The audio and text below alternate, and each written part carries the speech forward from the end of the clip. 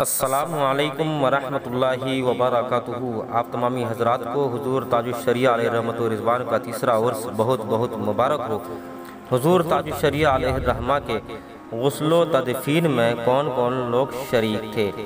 Doctor Ghulam مرسلین رضوی ناگپوری کے وال سے آپ کو یہ خبر دے رہا ہوں۔ انہوں نے جو بتایا کہ مجھے چند معتبر ذرائع سے یہ خبر موصول ہوئی ہے کہ حضور تاج الشریعہ علیہ الرحمہ کے وصال کے بعد آپ کی اہلیہ محترمہ کے حکم سے پانچ افراد حضور تاج الشریعہ علیہ الرحمہ کے غسل میں موجود تھے، جن کے اسمائے گرامی مندرجہ ذیل ہیں۔ سن لیجیے۔ نمبر ایک، جنہوں نے غسل دیا تھا، وہ پانچ اشخاص کون ہیں؟ سنیے۔ نمبر ایک جانشین حضور صدر الشریعہ حضرت علامہ مفتی ضیاء المصطفیٰ قادری گھوسی۔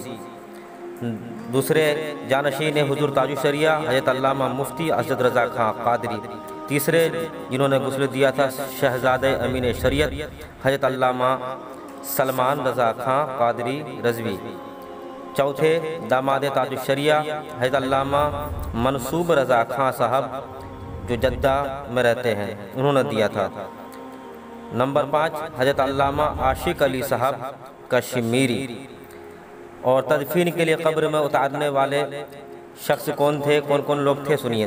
نمبر ایک، جانشین حضور تاج الشریعہ علامہ مفتی اسد رضا خان قادری صاحب نے قبر میں اتارا تھا۔ اور دو لوگ کون تھے؟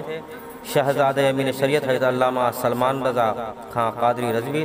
تیسرے جو شخص تھے، حضرت علامہ مولانا برحان میاں صاحب دہلوی۔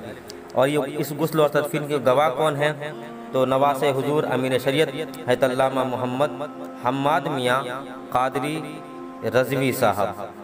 اور آگے لکھا انہوں نے کہ اور معتبر ذرائع سے یہ خبر موصول ہوئی کہ لاکھوں کے جمع غفیر ہونے کی وجہ سے دن میں گیارہ بجے جن لوگوں نے حضور تاج الشریعہ علیہ الرحمہ کی نماز جنازہ ادا کی، انہیں دیر رات تک قبر پر مٹی ڈالنے کی بھی سعادت حاصل نہ ہو سکی۔